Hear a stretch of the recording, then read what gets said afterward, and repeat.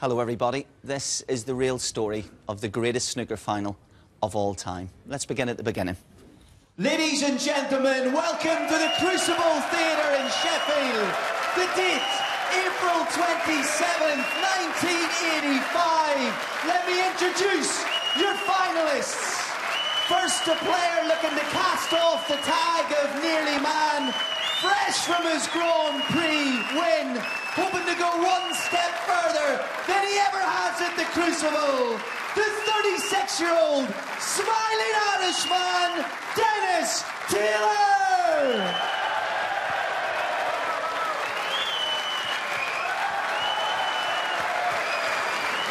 Next, a man as serious on the baize as he is off it. He's 27 years old and he's already won this title three times. He is the world number one. He is your number one seed. Please welcome Romford Slim, Steve Davis.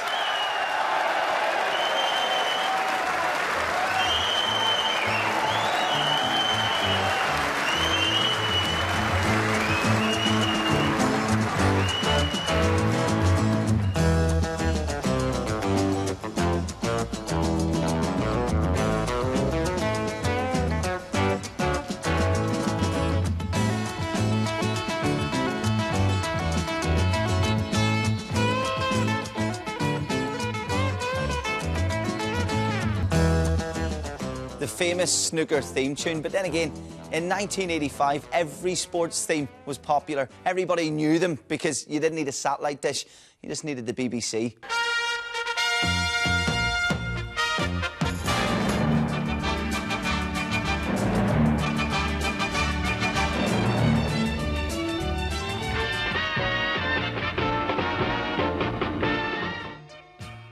The music that acted as a cue to a roll call of very famous names. In 1985, there were only four channels, so if you presented sport on the telly, you were as famous as the players themselves. Hello there. Well, a pretty frustrating weekend all round for rugby players. Tonight we concentrate on the Winter Olympics. Well, that's it as far as I'm concerned. After The famous Crucible Theatre here in Sheffield, which has seen a few dramas in its time, gearing itself up for the last lap of the 1985 World Professional Snooker Championship. It is, as I say, a remarkable final, and I'm glad you're with us to enjoy it here tonight. I remember absolutely nothing of the last day, other than David Vine. And if someone had told us that 18 and a half million people were going to be tuned in, And as the hour reaches midnight, this final frame has now been in progress some 45 minutes. I think it was a trauma. We were out of our depth. Both players under a great strain. that particular night, I mean, snooker was the winner there, really. The fact that I was involved in something where so many people remember what they were doing and where they were when they were watching it, you know, wow.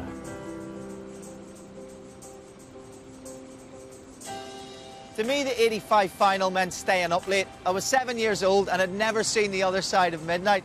It sounds silly, but that's the point, really. It was more than just a snooker game, and it meant so many things to so many different people. And I'm going to try and harness that. I'm going to travel to all four home nations, and I'm going to start at our southernmost tip on the Isle of Wight, because in the beginning, there was David Icke. David Icke was, if you like, the Robin, the David Vine's Batman, so he's the perfect person to catch up with first on our travels and find out a little bit more about the tournament as a whole. David, Colin, I'm in your control. Where do you want to go? Let's go home. Excellent.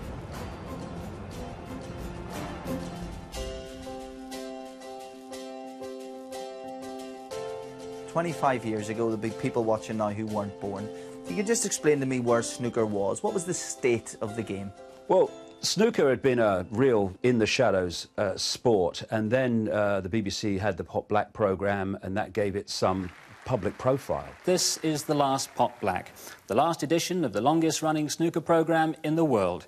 The programme that did so much to launch snooker into its modern era and the multi million pound industry we see today. It was absolutely massive. They were kind of in British terms, they were, they were superstars. They were everywhere, these guys. And, and a lot of them had, had been in the game in the early days when they were thumbing a lift between exhibition games. And it happened so fast. The final, David, is the most famous snooker match there has been, probably ever will be. But before that, there was a lot of frames and a lot of games. What type of tournament was it up until that point? It was a real struggle that year. Uh, we had one really good game, I remember, between Ray Reardon and John Parrott, went to 13 12 to Ray. The rest of them, players were winning games comfortably. And we had so much time to fill.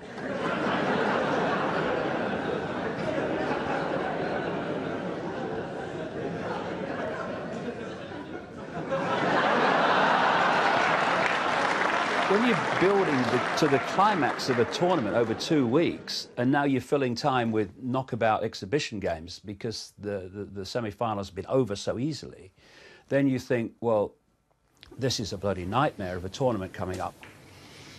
Well, Steve Davis, he's really riding on the crest of a wave at the moment, brimful of confidence. I was probably in mentally as good a shape as you could get. And Dennis had reached embarrassment territory, which is the ideal situation to get a player in. You know, then you've got to just drill him into the ground. Well, I wonder what uh, Dennis is thinking. I thought, what's going on here? It was a bit embarrassing. I wanted the floor to open up in the crucible, and I just didn't know where I was going. I thought, when am I going to get a proper chance?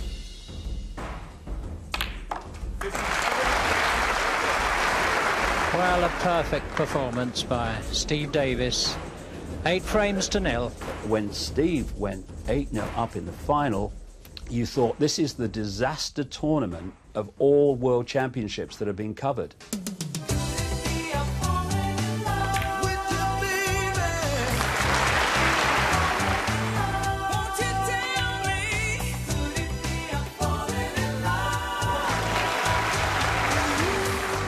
1985, I was nine. My parents allowed me to stay up to watch the final.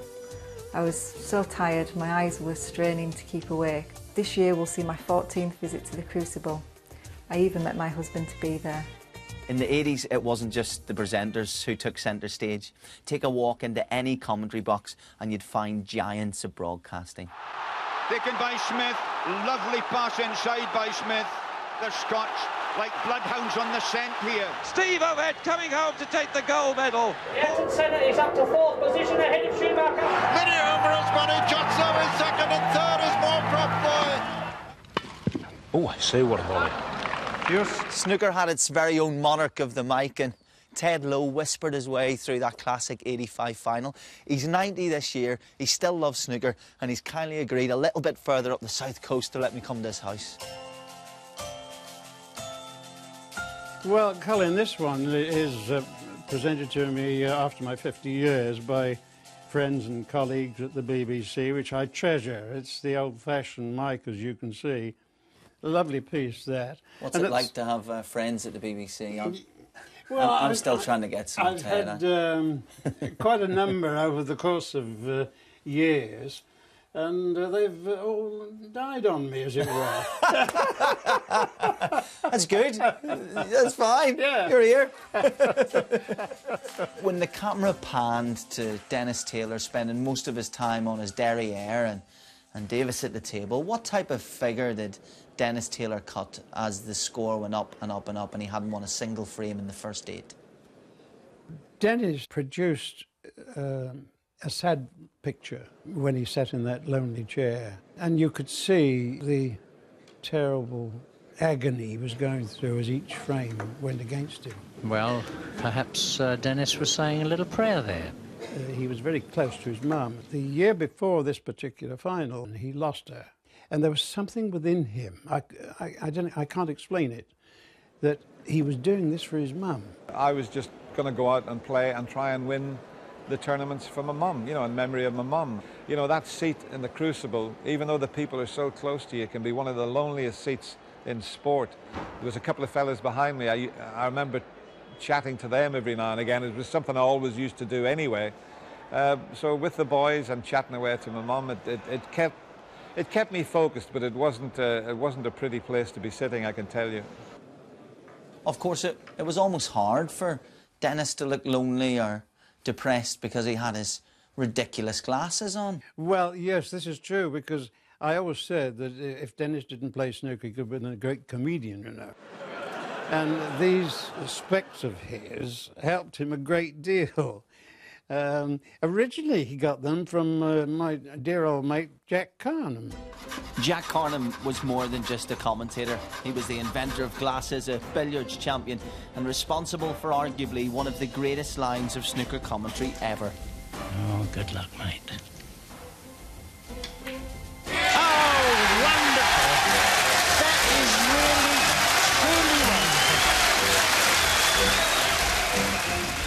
Timeless moment. Uh, Jack's son lives in Hampshire. His name's Richard, and he's invited me down to talk about the legend of the specs and the, the invention of his father.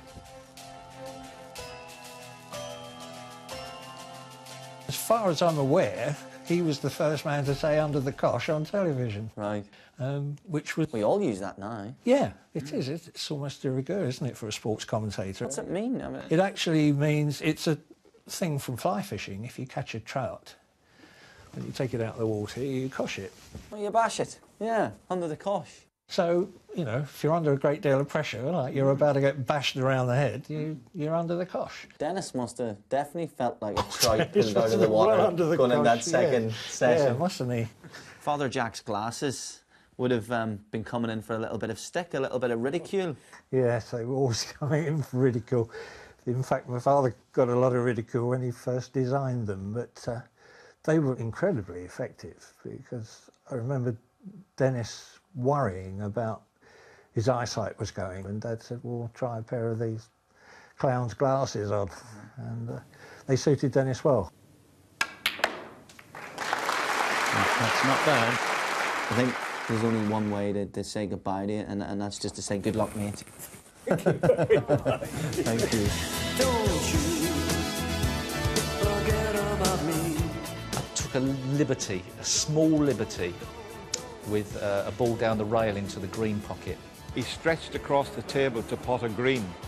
If the green goes in the corner pocket, it's 9 0. Well, Steve Davis there at full stretch, in fact, overstretched. I potted the green to pink to win my first frame.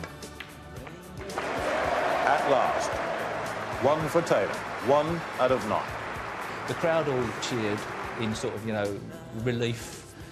Dennis sort of, you know, made fun of, you know, in, in a way, it seemed like, you know, what can you do? You can only go, oh, great, I won a frame, you know, for the fun of it, really, because, you, you know, the rel relief as well. And, um, and then the tide turned, and I collapsed.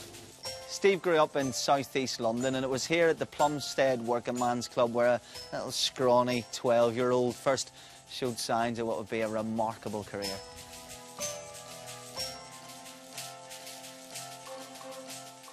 And where he actually learnt the game was on that bottom table playing billiards by rolling the ball up and down the table, over the spots, backwards and forwards, and by placing a ball somewhere near the middle hole and going in off of that ball into the middle hole, but controlling it so that that other ball that was on the table, the other white, would come back into an almost identical spot. So Roy Kenwood tells me you spent every day as a kid on a billiard table, rolling the ball just up and down. Yeah, gee whiz. Well, I mean, the early days for me of practice were about following the Joe Davis blueprint for the game. And my father was very much not a disciplinarian, but a stickler for practice and technique. He played snooker, of course. We played snooker on his table, uh, you know, sort of friendly matches. But that's where he learnt the control of the ball, the pace of the ball, direction into which it was going to go. My father never told me to play snooker. Uh, it was all, my- all of my drive, really. Um, he, he was just delighted that I liked the game. And, you know, effectively, we'd go down the club together, you know, father and son. I thought at that stage he would be the world billiard champion. Yes, I did. I did. I came in here one night and he said to me, do you want to see under a break, Roy? I said, yeah. And he placed two balls on the cushions and the third one was there, vertically with his cue, 2, 4, 6, 8, 10, 12, 14, 16, 20, 100. Anyway, you, you try and do it, you'll, the balls will... And that was the control. Because my father will be sort of fairly defensive about, you know, don't go for the big shot. You know, you always play within yourself. So if I pushed the boat out, as it's commonly known in the snooker uh, uh, commentary box, and went for a shot that was risky, I'd always get the criticism afterwards. Well, his father must have been doing something right because with more than half a century on the board, the man is still playing to the highest level. You've just walked out at the Crucible for the 30th time and got that love. It's lovely that the fact of there's a lot of people obviously appreciate the world of snooker and the characters in it, and the fact that that, that reception was quite amazing. All I could say is that if if it was me in the crowd and I'd watched snooker all these years and there was somebody who'd done what I did, I think I'd have to stand up and go, well, look, even if I didn't like you as a player, well done. It was 25 years ago that Steve Davis, along with Dennis Taylor, had us on the edges of our seats. Fast forward a quarter of a century, and Davis is at it again. Back in 1985, there wasn't much to shout about, really. The miners' strike had just ended a month before the World Snooker Final, and the country, I suppose you could say, was at war with itself. And at the end of this time, our people are suffering tremendous hardship. So maybe Britain as a whole just needed a hero, or at the very least a bit of escapism. Uh, this is South Wales. It would have been a mining village. All the mines are, are closed now. So I doubt in April 1985 they cared a huge amount about a snooker final, but there was one little boy lived out there called Mark Williams. He was 10 years old. He was the son of a miner and he would go on to win two world titles. And I, I just have a feeling his memories might be a little bit different. So you're three years into your playing career. You're one of the hottest prospects in Britain. You're about to win your first youth trophy, but you didn't watch the 1985 final? No, I never. I mean, I can't remember watching it. You know, at the time there was uh, you know, the miners' strike and all the stuff happening with, with the miners thing, and uh, you know, there was uh, a lot more important things happening at that time with, uh, with everything, and, and I just didn't get to see it. I remember I used to go picketing with my old man and that. You'd be like 30, 40 people here kicking a football around. All of a sudden, this bus will come going into the pit. It just feels like if he turned the maniacs. It's Yeah. like throwing stones at the bus and just trying to stop you getting in. Like incredible. You, it's hard to understand when you're young. What, why didn't you just, if, if they can go into work to get money, why don't you just do it as well? But then, like at the time, you, you could you could get killed. Like If you had been watching on the Saturday night, the second session of that final, uh, I mean, Taylor came from, from eight down and finished that session just 9 7 behind. Both players then would have had to go to bed. What do you think, you know, as somebody who's been in these situations, would have been in their head? Well, well, the pressure reverses. I mean, once you're eight frames behind, I mean, uh, you know, you sit there, you, you must think to yourself, you know, you can't win really. You're just going to try and make the score respectable. You, you, you don't expect to win, and, and then all of a sudden, you, you, start, your arm loosens up, you start potting a few balls, making some breaks. Steve Davis, I can't imagine, would have been the most popular snooker player in Cwm. Probably not, because he used to win everything. I mean, uh, you know, we're, we're a good old country for uh, not liking people uh, winning. I mean, I think that's our trademark. But uh, you know, at the end of the day, he's got more popular now. He's losing. The British sporting public do not warm to winners, to people who win day in, day out. W- Was, did that hurt you? A little bit, not much. I could because I could understand it because I'm also British.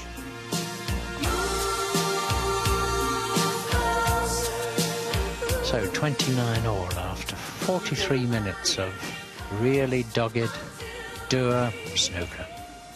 But some of the frames I won in the evening session, I was winning them with frame-winning breaks. And the last six frames, I kept Steve in his seat for most of the evening. Overnight, the score had been 9-7 to me, and it had been 7 all and I won the last two frames. It would have been a t- completely different night's sleep. As it was, uh, uh, I, I stole, I think, a line from Colin, pa- Colin Powell, which was, uh, you know, like I slept like a baby, uh, woke up screaming every half an hour. I, you know, what an awful, you know, I mean, I, my world had collapsed. So Mark Williams didn't even watch the 1985 final. He's one of just a few, I would imagine. There was a, a, a player who actually turned pro at the age of 16, the youngest ever in the game in its entire history. Um, and he lives just round the corner from Stirling Castle. He did all right after he turned pro. He he won seven world titles, so I think he'll have something to say.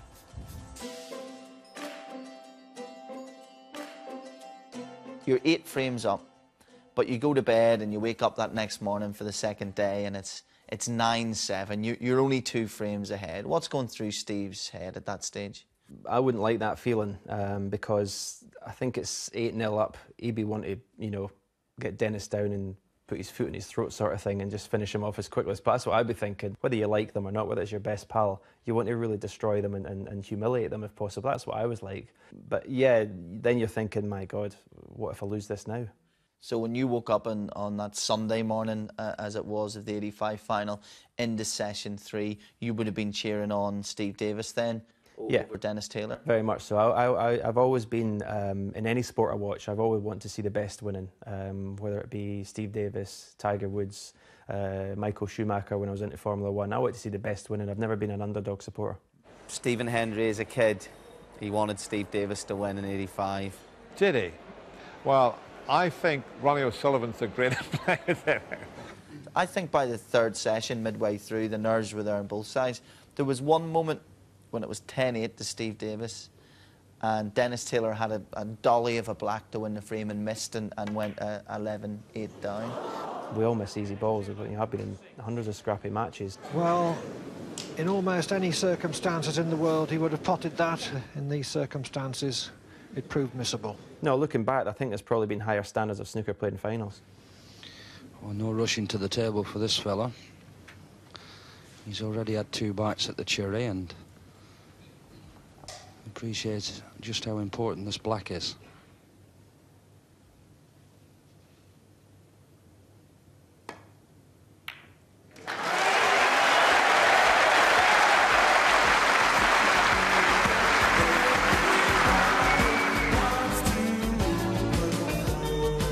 None of us had tickets for the final. So I queued up and I managed to get the last ticket for the final session of the final he completely forgot about mother and father, so we had to spend the entire evening wondering what was going on uh, in the bar of the Grosvenor House Hotel. The final, well, I'll be honest, I never thought I'd be standing here tonight introducing this last session. And you were with all the snooker journalists drinking. Heavily. And the very latest news at the end of the last session, which didn't finish more than about half an hour ago, Davis leads 13 frames to 11. 18 are required to win the £60,000 cheque. So with 11 to play, Davis needs five and Taylor needs seven. Those three sessions that have gone over history now, it's just down hmm. to the last one. 13-11. Lovely. Enjoy the match. Cheers. Steve Davis, defending snooker champion of the world, with uh, Barry Hearn just going out. He's never very far away, his manager.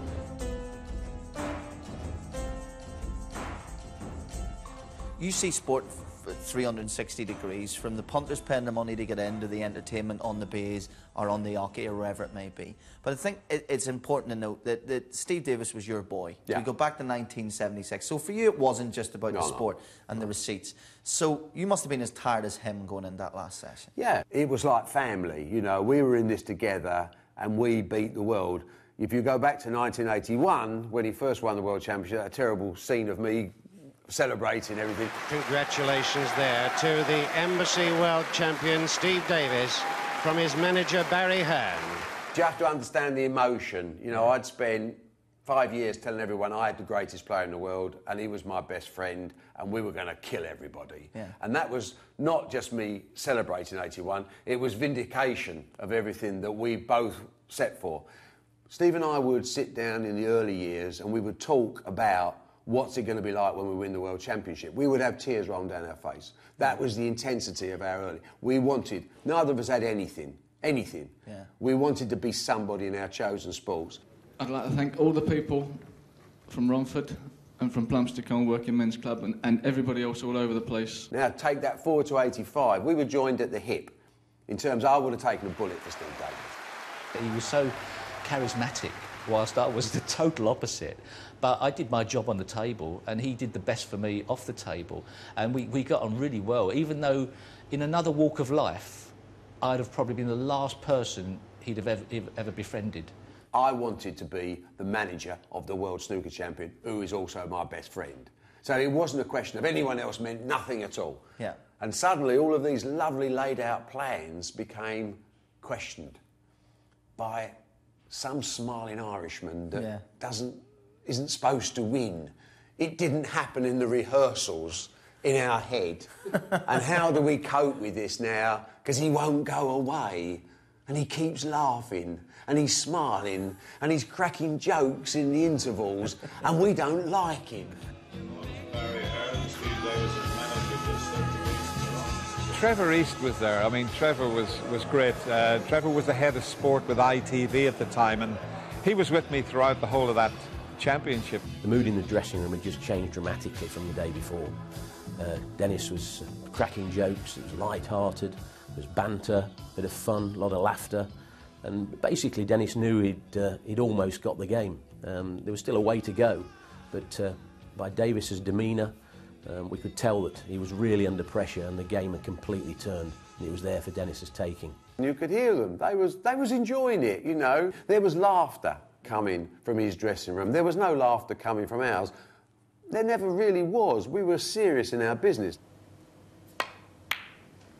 63. But Taylor now needs snookers. Davis won that first frame. Momentum wise and psychologically, you would imagine that was the perfect building point. We couldn't have had a better start, but it still didn't mean anything because the winning line wasn't there. Had Davis won the frame after that, I think we'd have been into easy street.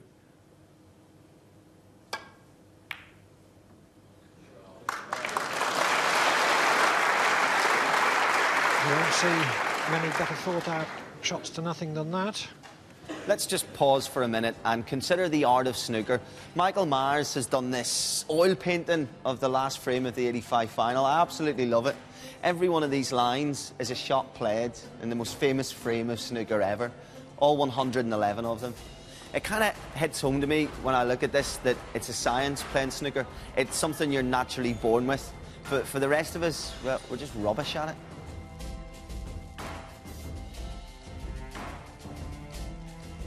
I think, like most sort of semi mugs, uh, every now and then I'll do a shot that would have got spirited applause at the grapple drome or whatever it's called. Uh, but there, there there is not a shot uh, that I can't miss, you know. Even if, if it's on the very brink of the pocket and it's a straight shot, I'm just as likely to go in with, you know, or in instead. That's the other one. I'm lost in admiration for what they do out there. And also the stamina. How, you know, after four or five frames, I'm exhausted and no longer thinking very straight. And, uh, and for them, it must be a, a kind of delirium of concentration. It's fiercely psychological. And you're never so far ahead that it's over until it's over.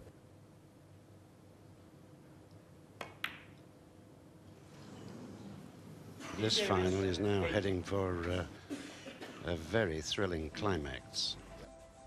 I'm here in East London's Theatreland to speak to actress Kathy Murphy. You may know her from programmes such as Shameless, EastEnders and Extras. She's got a very different take on events 25 years ago.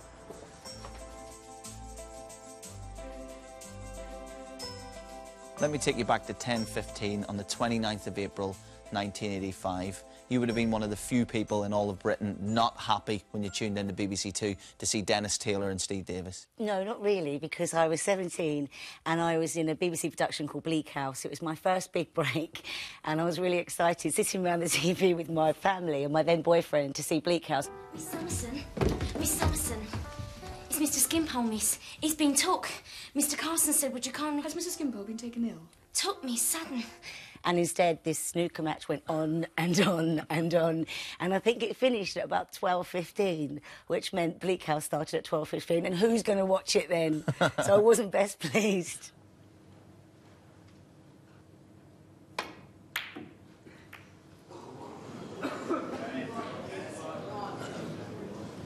Gentlemen, please.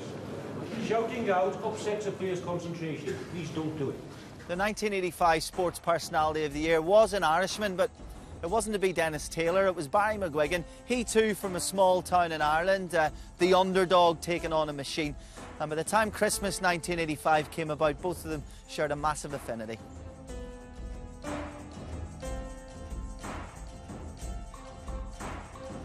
What is it about the Irish where they have to be underdogs? I mean, Dennis never led against Steve. He was 17 15 down at this stage, and I mean, he's got to win the last three frames. No more room for error. Why, why do the Irish thrive when, when we're against the wall? Lots of people say, well, you know, snooker players aren't real athletes, but the level of concentration that they have to have, and all the people in, in the auditorium screaming and shouting, he just showed phenomenal powers of recovery and fight back. Just amazing. Your father was this huge inspiration to you, and unfortunately, Dennis had this this backdrop of just losing his mother, um, who was his inspiration, Yeah. um, and he might not have lifted a cue again. It happened with you when you lost Yeah. your father. It happened with him when he lost his mother. Yeah. Do you believe in that? The fate of it. Um, yeah, absolutely. I, I mean, I, I believe my dad's in a better place, and I believe my brother, who committed suicide in '94, uh, I believe they're they're with me. I, I believe that when times get tough, Mhm. um, you know, and it's interesting. I watched the, uh, I watched Dennis between uh, those frames, and I watched um, I watched him as he sat down. And I looked and thought, what is going through his his mind? What is he thinking about? Was he thinking, you know, Mum, uh, Yeah. where are you? Uh, you know, come and give me the, the, the strength or whatever. But he, he was able to garner uh, the strength and the psychology and, and the, the, you know, the toughness of mind and the sureness to make those decisions, those little incremental mistakes that can destroy you. Tell me a little bit about the mid 80s. It wasn't just about what you were doing in the ring or at the table, was it? There was so many other connotations. People wanted to know your politics, your yeah, religion. Yeah. I was just sick to death of it, and, and it was a tragic time for Northern Ireland. Everywhere you went, it was just so intimidating, so frightening. And I remember thinking, the one thing I want to do is I want to bring people together. I'm not going to wear any colours. I didn't want uh, to have anybody label me, and I wouldn't do that. And I suppose a certain section of, of uh, uh, the community wouldn't have liked that. I didn't care about those because they weren't my supporters in any case. And Dennis was exactly the same. And he was such a lovely man and such a, such a great representative, and everybody wanted him to do well and be successful. In modern sport, there's so many arrogant sportsmen and cocky and conceited uh, people, and you know the world's full of that. And, and, and the ordinary Joe in, the street doesn't like that sort of arrogance. He can put up with it and tolerate it for a time, but after a while, and my old man used to say to me, Barry, just you know, keep it simple, son, you know, and make as many friends uh, as you can on the way up, because you see, when you're on your way down, they don't go, oh, let you slide down. So just, I mean, I enjoy people, I enjoy company, and, and it's difficult for me to be rude to people. And it's exactly the same with Dennis. Regardless of any religion, people in Northern Ireland and, and all of Ireland were, were on their feet for Dennis and were backing him. Without a doubt. I'm 325 miles from the Crucible Theatre in Sheffield. I'm in Coalisland, County Tyrone, Northern Ireland, home of Dennis Taylor. And in this snooker club, Gervins, that's where he cut his teeth. And I tell you why I'm here. I'm interested to find out the inspiration, the strength that he got to come back again and again and again in the 85 final against the machine. Brenda's his sister. I've met her before, and her husband Seamus should have a welcoming committee as well.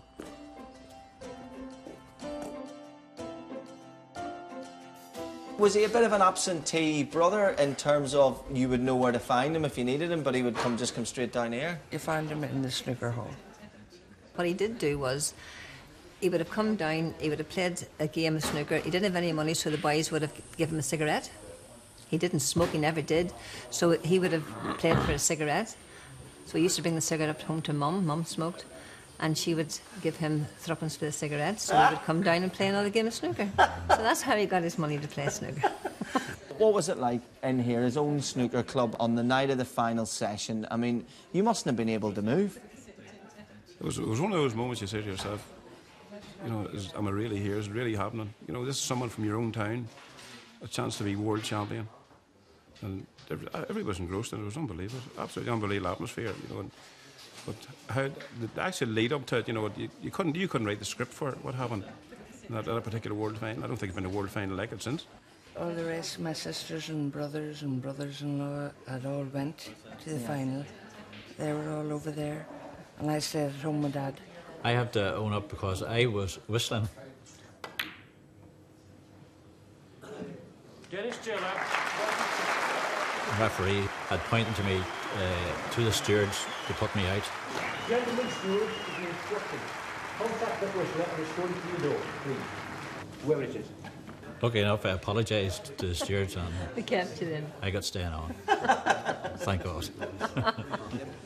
If you could be honest with me, Piers, were you thinking, you know, he's, he's had his chance, he's done the time proud, but It's, it's another step too far. He can't possibly pull another frame back, let alone three. Away from Culloden, you see we have great faith.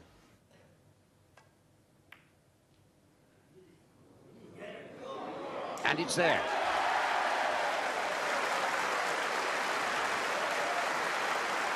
And the audience as thrilled as Dennis Taylor as he saves the match.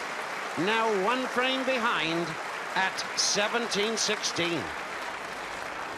But I, I knew at 17-15 that I really, you know, your back's against the wall, but uh, I had to, to pull all the stops out. But I think at that stage, what helped me was I'd won six frames the night before. Yeah. So you're saying to yourself, listen, if I can win six frames, there's no reason why I can't win three, and that's what you're telling yourself.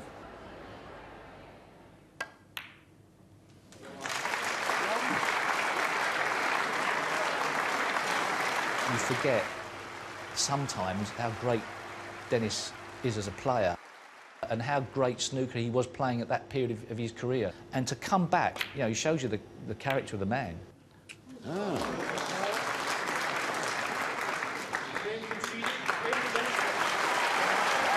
Steve Davis then concedes that particular frame, and Dennis Taylor, a very satisfied Irishman, sits there with the frames all square, 17 inch. I'm in the Workman's Club in Cricklewood, and the final's just gone 17-17. The bar steward is not happy. Comes from behind the, bar, up to the TV, switches it off. We're all sitting there, gobsmacked. So up I get, there's a few murmurs, right? I put my finger on the TV on-off button, and I hear in the background, McBride, you turn that TV on, you'll be up in front of the committee by Wednesday, that I'll promise you. And I'm thinking, what do I do? I thought, I can't miss this. So I switch it on. I sit back down, I get a big round of applause, and we carry on watching the final. Anyway, next night, up I go for a pint of the game of snooker. There's a letter on the door for me. Open up the letter, true to his word, I'm in front of the committee on the Wednesday. Up I go to the committee on the Wednesday, barred me to three months. John Williams refereed every frame of the 85 final, and I think he had the best seat in the house.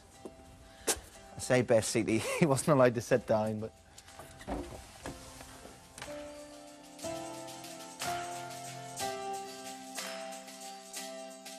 John, you've announced the beginning of a million frames, but I'd imagine none as intense as the, the 35th frame of the 85 final. So tell me at the start of that 35th frame, who did you think was going to win the title?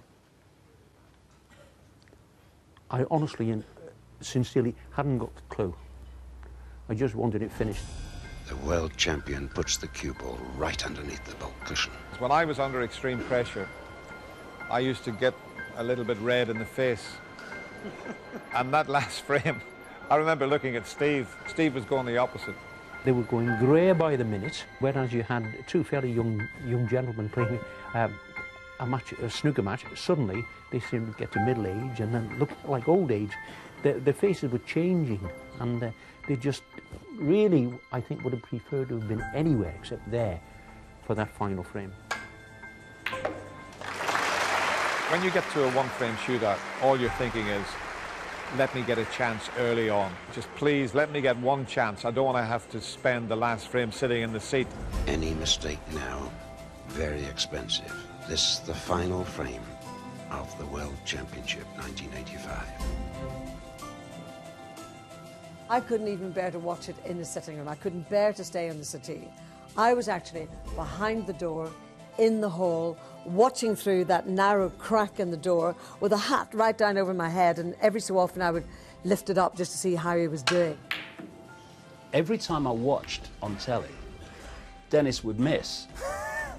and it got to the point. point, and my wife, my wife Linda was, was with me, uh, that I, would, I would go out the room. And uh, he'd say, she'd say, no, Davis has missed. And he's missed it. We're just out of the depth, you know, frightened rabbits in the headlights. I suppose it was destined to go to the last ball. It was just destined because we, no, I don't think we made a 10 break. Davis, five.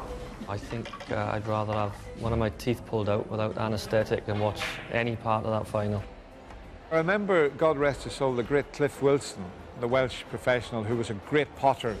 I remember him saying to me, he said, I've never seen safety like that. There was a spell in that match where we kept flicking balls along the top cushion, hitting them very thin so that you wouldn't push it over a pocket. Our safety was good.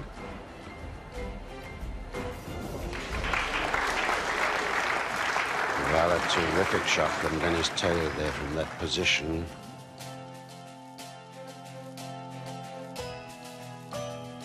I had the job of presenting the Youth Cup each year.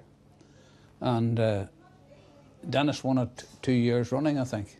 Mm-hmm. And the next year, another boy from the class beat him. And he, he took it very bad.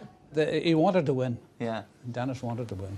Concentration written all over his face, looking for his first world title. Never rushed himself, never, you know, he Had his took pace. things, had his own pace. And uh, even the, in football, he was the same, you know, he took his own thing at his own pace, but always got there.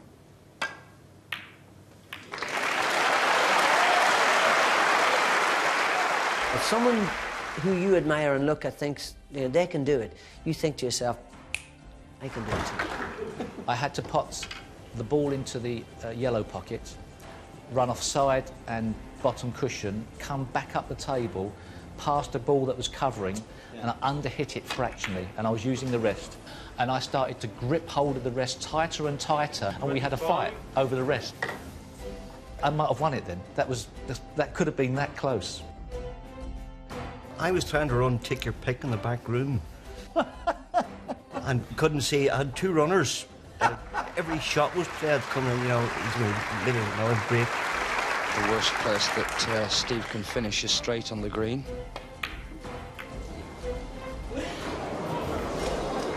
So they were saying, you know, you know forget about take your pick. So I just downed everything, came out, and couldn't get near the TV. Couldn't even see the TV.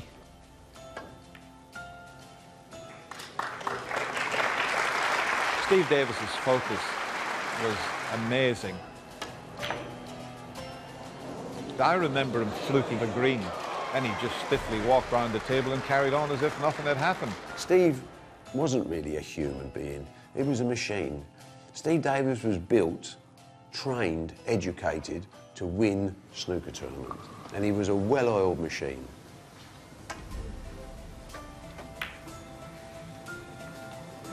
Eighteen points in it, 22 points on the table. This frame now been going 55 minutes, the longest frame of the final. It was a very exciting match, and, and 17 year olds don't really like snooker, but I had to watch it because I wanted to watch what was after it. When we got to the Brown, I'd made my mind up then, right, this is probably the last chance to win the world title. Have a go at whatever's there. If it's any sort of chance, have a go at it. Dennis had a go. Very tense moments here now at the Crucible Theatre. The atmosphere in the place was, was alive. It was absolutely buzzing.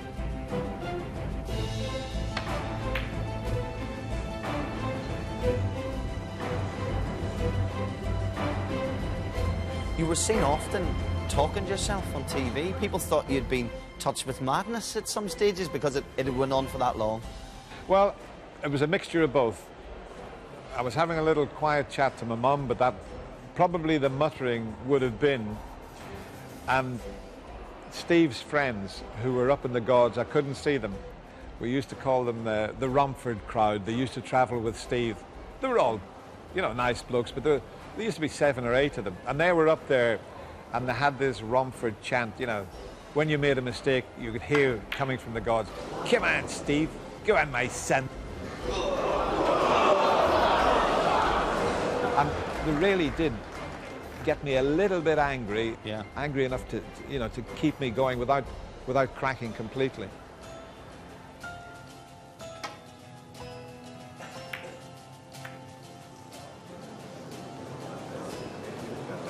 Moving the black just might help Dennis. He wants the four balls.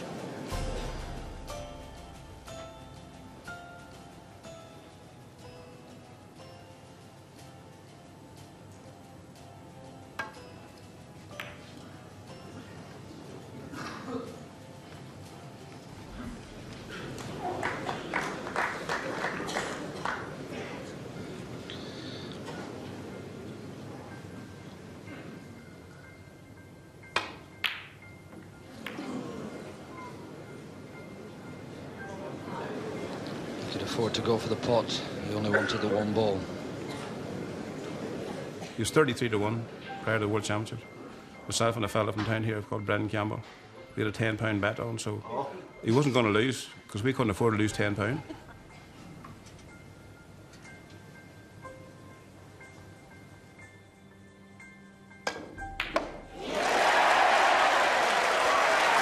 The brown that I potted down the cushion was one of the best shots I think I've ever played under that sort of pressure.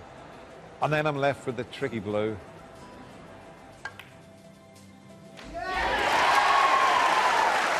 At this stage, the, the crowd were just, it, was incredible.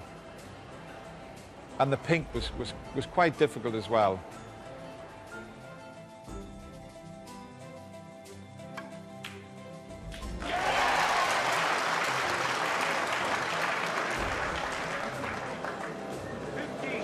The final frame, the final black. I don't know why why I went and kissed the little lady on the on the top of the trophy before I took the double on in the black. I don't know to this day why I did that. It must have been I'm I'm going to win you here with this shot or I'm going to lose you.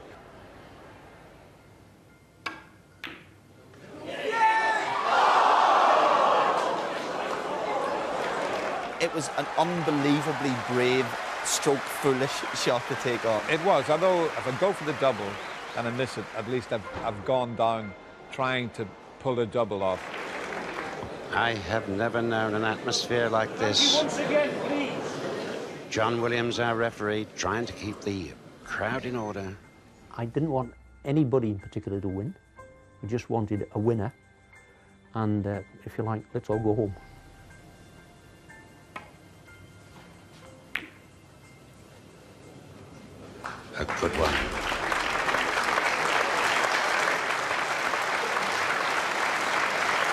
Can train and practice all you like, but I think sometimes there's, there's, you get to maximum pressure and you, can't get any more than maximum, and maximum's enough for anybody.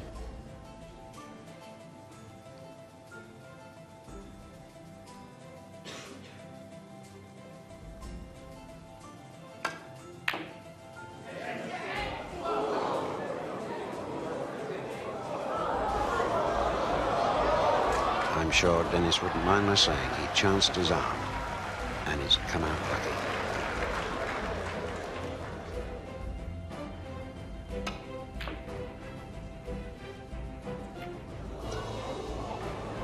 The fascinating thing about snooker is sometimes the best tension type snooker is the stuff where people are missing. When it's 100 break, 100 break, 100 break, and nobody's missing a ball, no tension. Really, in its own way, there's no tension. Everybody starts missing, the crowd get at it as well. So the crowd's at it, I'm at it, everybody's at it. We can't, nobody can hold their arms still. That was the biggest shot of his life. What a twitch. I missed that black by so far. It nearly came up and in the pocket I was leaning over. I went back to my seat and I thought, there's no way Steve Davis will miss the black. I always get a bit upset. People think it was closer than it was, but you know, it was, it, was- you know, black was miles away from the pocket. no, it, it was it was potable. I've come down. I thought, well, I've just got to keep everything together. You know, it's not your cue, it's not your legs, not your arms. You just got to try and deliver it straight. when Davis has cut the black in, because this is Davis, okay? So I said, oh, I'm going to bed. I said, it's over. No. And I'm halfway up the stairs, and my wife shouted, he's missed it. I couldn't believe it. Hope is what happens. You go hope and outcome, and then oh dear. I, I can't comprehend it now that he missed it because uh, that, that isn't Steve. The one thing Steve has got, apart from his ability to play the game, is a wonderful temperament. This is really unbelievable.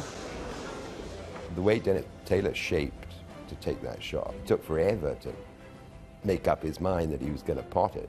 He didn't break, and Steve broke on that last ball, and that was just unbelievable.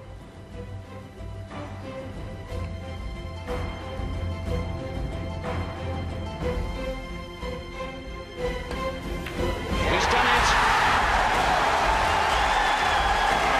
Dennis Taylor, for the first time, becomes Embassy World Snooker Champion, 1985. He took that final black, which was the first time he'd been in front of the whole match.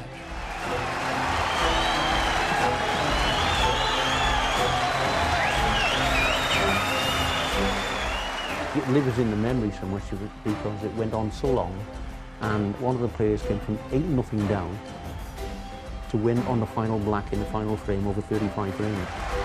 The whole place here at the Crucible erupting for this very popular Irishman. You can't help but like Dennis, and so you're quite pleased for him, wagging in his finger when you wanted to smack him straight in the nose. that wasn't me. And all he was saying was, I told you I could do it. And a sad champion, Steve Davis, looks on. having someone giving out all this, kissing the trophy, doing all this stuff, and you're sat in the corner, and then David Vine comes and says, "How you know? How do you feel?" Can you believe what's happened tonight yet? Yeah, it happened in black and white. What, what, what do you want him to say? A fabulous picture of a very happy and popular man. The first thought is, I'm world champion. After all these years, I've become world champion, and it's a very, very special feeling. And then after that, I had no idea what was going to happen. It was the end. You know, that, there's no more balls. There was 17 days of playing for one ball at the end, and you can't do anything about it. And, and you, you've, you've messed it up. And that's, that's snooker. I suppose you look back on it 25 years later, sitting here now and, and have immense love for that occasion. Well, my thoughts, obviously, being the type of animal I am, I immediately signed Dennis Taylor, which I think sort of sums me up quite perfectly, really, doesn't it? You know, it was great. And Steve said, thanks, mate. And I had a few letters, I had a few letters from his fans saying, how could you? I said, there's a bigger picture here.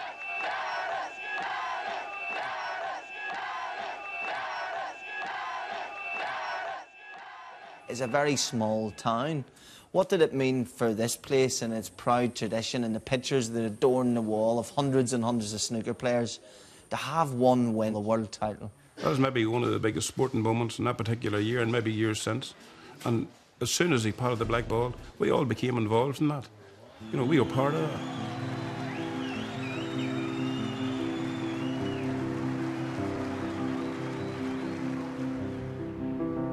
I had that good faith that Mummy was behind him and that she would see him through to the final, which she did. So that was constantly on your mind then the whole way through when you were sitting in the crucible Yeah. you knew it wasn't really Yeah. about lifting that trophy, which is what we were all thinking. Yeah. He could be world champion. He could, And you're yeah. thinking something, and the family No. is thinking something, and Dennis is thinking Yeah. something completely different. He's thinking that it's for her. It's not so much it's actually the it's actually the world champion that he's going to be. It's going to be uh, a win for for Mummy, and he did it.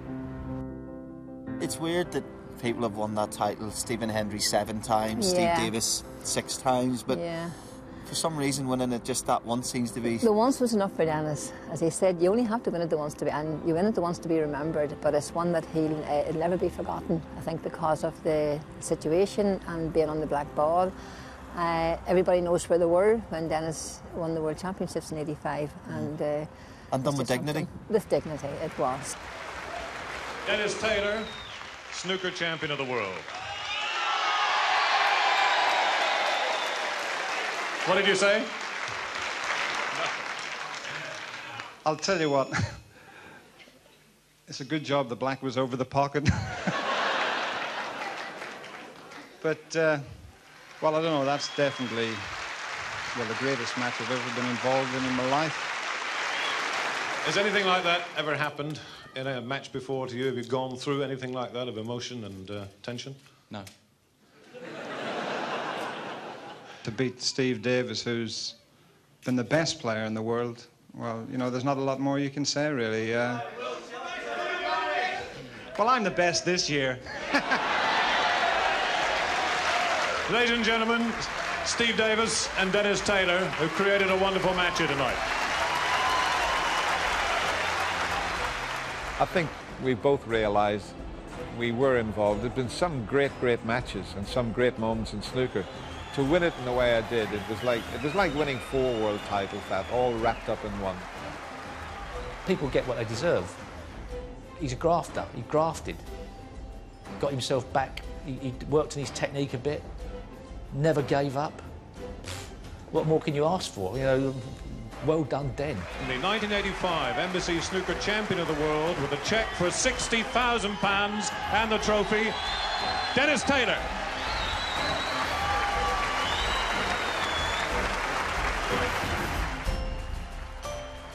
I would need so much more than 59 minutes to fill you in about everything that I've learnt on my journey across Britain and Ireland to discover the real story of the 85 final. But here's a couple of gems I haven't yet managed to fit in. I've learnt that David Icke, despite having 30,000 people in a social networking group, doesn't do crowds. Me, I, I don't do groups. I don't do groups. I've learnt that winners not only detest losing, but have very little time for losers. Oh, Fiver. These guys are going out for lunch today, courtesy of my bloody puggy. If he had a bit of bottle about him, he would have won seven world titles. I learnt that one Northern Irish champion made a future one late for training. I was late for training the next day. I, I was late for training. I don't think anybody minded because most of the sparring partners were sitting watching it anyway. I've learnt that Mom is a snooker fan. She said she did follow the game of snooker on the dot.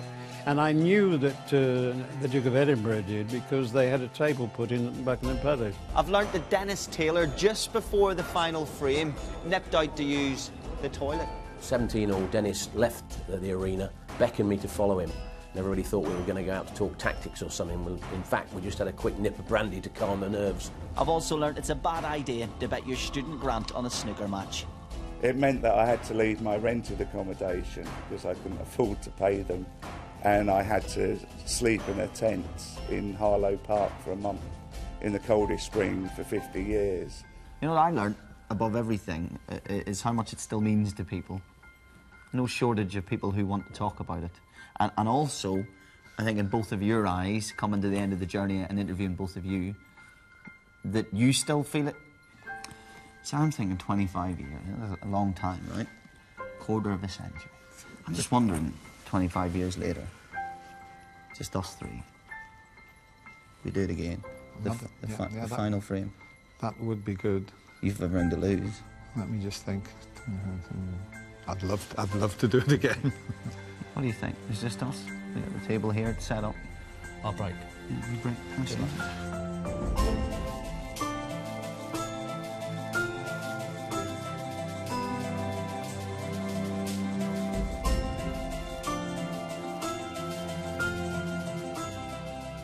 They created a piece of not just snooker history, but great British sporting drama. Any sportsman gives us something that goes into our memory banks, well, it gives us a warm feeling to say, you know what, I was, I was ever so glad I saw that. That was a bit special. And you know what? That was a bit special.